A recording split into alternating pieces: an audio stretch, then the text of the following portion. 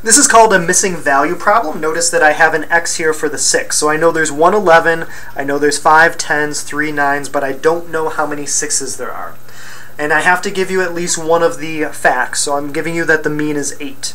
Usually it's going to be the mean. Um, it could be the mode, like if I told you the mode was 6, well that just tells me this number has to be bigger than all the others. So maybe it occurs 6 times, but could occur seven, eight, nine, I don't know for sure. So usually this problem is going to be the mean. So what I'm going to do is I'm going to write out a formula and then I'm going to solve it.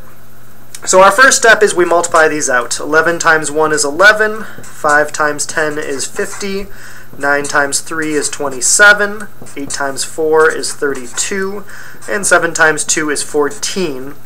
And then lastly, 6 times x is 6x. So if I add this all up, this gets me 134 plus 6x. Now I want to add up how many numbers there were. There are 1 plus 5 plus 3 plus 4 plus 2 plus x. If I add that all up, I get 15 plus x. Okay, so to find out the mean, what I usually do is I take my number that I get, 134 plus 6x, and I divide it by how many numbers there were, which is 15 plus x. And that is going to give me my answer of 8.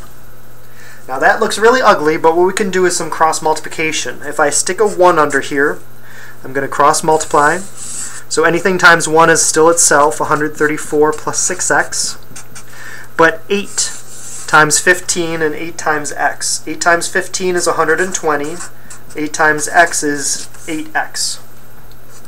And from there on, it's not too bad of a, a regular equation to solve here. I subtract my smaller x to start. 8x minus 6x leaves 2x. I'm going to get rid of this number here by minusing the 120. 134 minus 120 leaves 14. I'm going to divide by the 2. 14 divided by 2 is 7. So that tells me that there were 7 sixes in there. And then if I redid the problem using the actual numbers, so putting a 42 here and adding these up, and putting a 7 here, that would be 22, it should still get the correct mean of 8.